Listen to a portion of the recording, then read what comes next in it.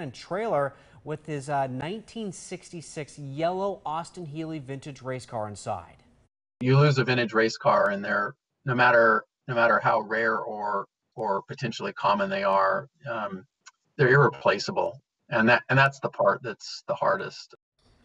Shin says uh, his van and trailer are covered by insurance. If you have any information or see the car, call Portland Police. Still ahead tonight, a